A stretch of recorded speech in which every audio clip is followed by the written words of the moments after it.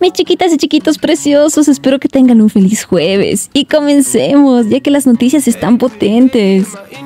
Y vámonos con Ayan Ferb y Max Valenzuela, ya que se había filtrado un video en el que se podía ver que ambos estaban cenando juntos y también paseando muy abrazaditos.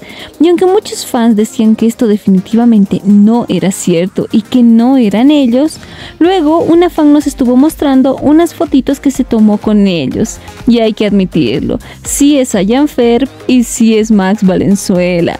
Ay, definitivamente sorprendió a muchos. ¿Ustedes creen que hayan vuelto a estar de pareja? Y es que Max anteriormente ya nos había dicho, cuando los tragos saben así la llamo para que hablemos, no sería malo. Y al parecer sí la llamó. Ay, a mí me encantaba esta parejita.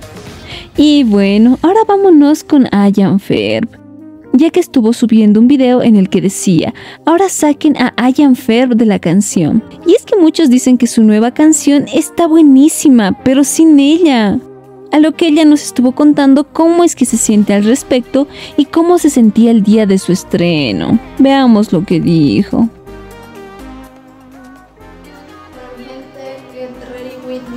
mientras les cuento chismecito.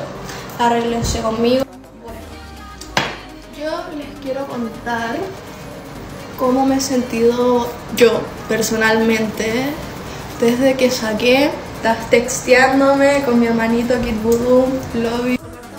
el día del lanzamiento, eh, que fue como el, creo que el jueves pasado. La cosa es que yo estaba muy estresada, bueno, yo estaba demasiado estresada porque yo quería que saliera como que todo perfecto y justo ese día tenía un vuelo, entonces yo estaba de que, ay, el lanzamiento, pero también tengo un vuelo, entonces yo estaba, bueno, o sea, se me estaban cayendo los pelos de segundo día ya me desestresé porque ya le empezó a ir bien, pero extremadamente bien, o sea, como que el primer día tuvo 200.000 streams. Y nada, o sea, ustedes pueden decir, ay, pero tú sacas millones y millones de vistas en TikTok. Pero déjate, yo te cuento algo. No es lo mismo que un video de 15 segundos te lo vean 10 millones de personas a que una canción que dura 2 minutos te la escuchen bastantes personas. O sea, es diferente y es un trabajo que yo me he dedicado a hacer este año. Estaba demasiado feliz por todo el apoyo que le estaban dando a la canción porque para mí fue como que wow, o sea, realmente le está yendo muy bien. Y ya el segundo día yo estaba de que de lo más feliz, jiji.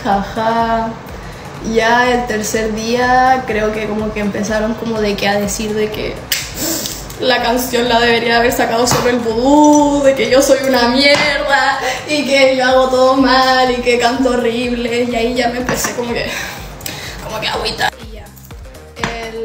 día ya también me empezaron a subir a de que páginas de allá de Chile, uy, de que los comentarios eran de que, ay, pero ¿por qué no sacó la canción solo? Saquen la parte de Lion Fair y que no sé qué.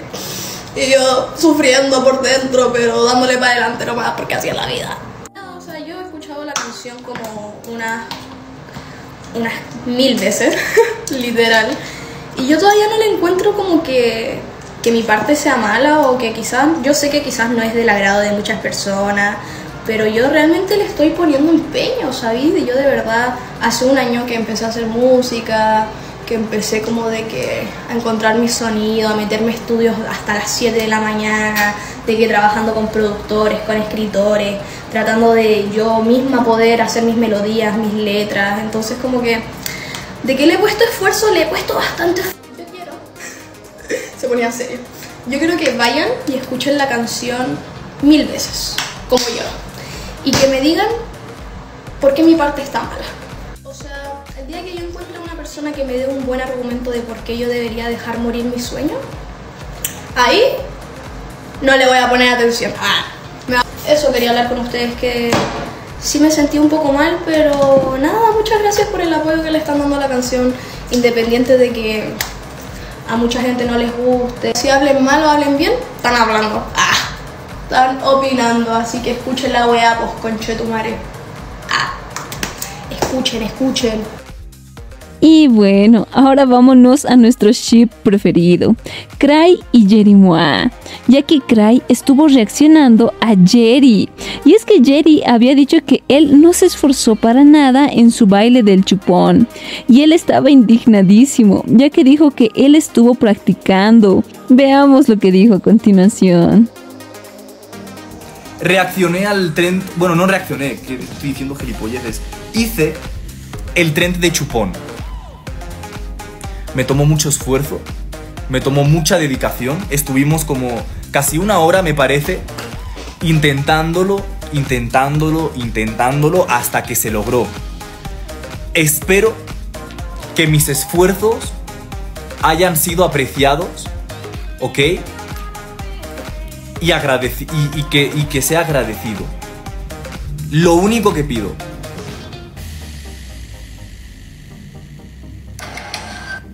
Reacción tren TikTok.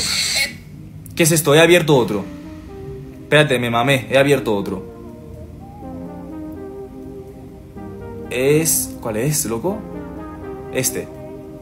Me he equivocado. Aquí está.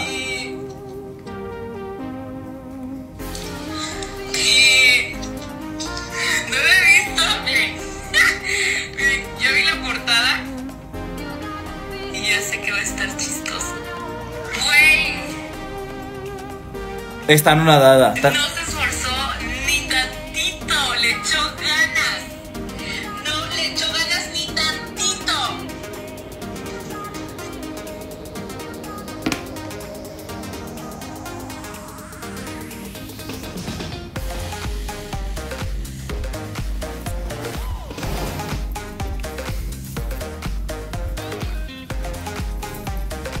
¿Cómo no le voy a echar ganas? Estuve 45 minutos grabando toma tras toma tras toma hasta que saliera perfecto.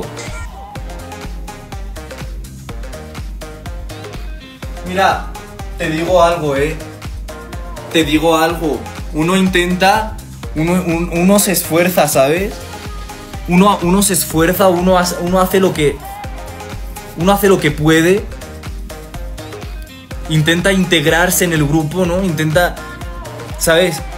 Formar parte de algo. Y así lo tratan. Qué, fuerte. Ya no quiero ser TikToker. ¿Cómo va a ser un así? Lo voy a enseñar A ver. A ver si tan así. A ver.